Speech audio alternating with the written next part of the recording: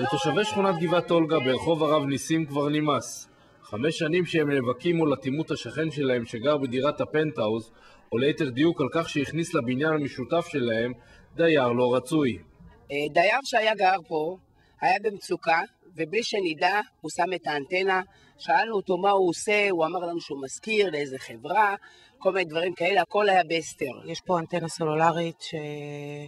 מכוונת אה, לכיוון אה, בניינים, לכיוון הגן השעשועים, ואנחנו כל הזמן במלחמות אה, מול בעל הדירה. כמובן שרק לאחרונה הבנו שזה כבר לא ברשות בעל הדירה, שהדירה היא ברשות סלקום. ניסינו לפתוח, לפתוח במשא ומתן מול סלקום על מנת להוריד את האנטנה הסלולרית הזו, והם לא מעוניינים. כשהשיחות לא הובילו לשום מקום, פתחו השכנים במלחמה עיקשת במטרה להיפטר מהמטרד שמכניס לא מעט כסף לבעליו. הם תלו שלטים בכל השכונה והזהירו את תושבי האזור. היום מעוניינים להוסיף אה, יותר מגברים. הם הגיעו לכאן עם משאיות, אנחנו אה, כמובן חסמנו אותם כדי שלא יגיעו, לא יעשו אה, דבר. אני כבר הרבה זמן מרגישה לא בטוב, מאוד חולשה.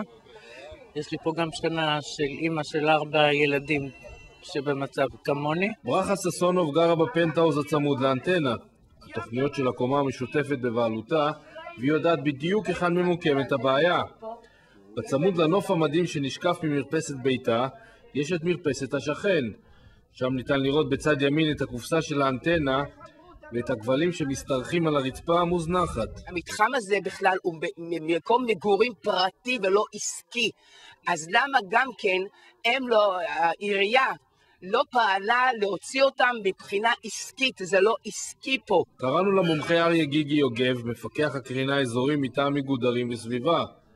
הוא נדהם לגלות שהמתקינים כבר הספיקו לכבות את מערכת החשמל לפני שהוא הגיע, וכך בשעת הבדיקה ירדה רמת הקרינה לאפס. אני לא מגלה שום שידור על הגג, יכול להיות שהמערכת מנותקת כרגע, ויכול להיות שצריך לעשות בדיקה נוספת. זה נראה לא טוב, גם אני בעצמי לא הייתי מרגיש טוב אם מישהו, השכן שלי, היה מרכיב אנטנה בבית שלו ועושה על זה כסף.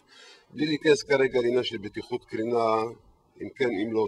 באופן, אה, באופן כללי, אישית, לא הייתי רוצה שמישהו יעשה כסף על הבית שלו ולעשות מזה ביזנס.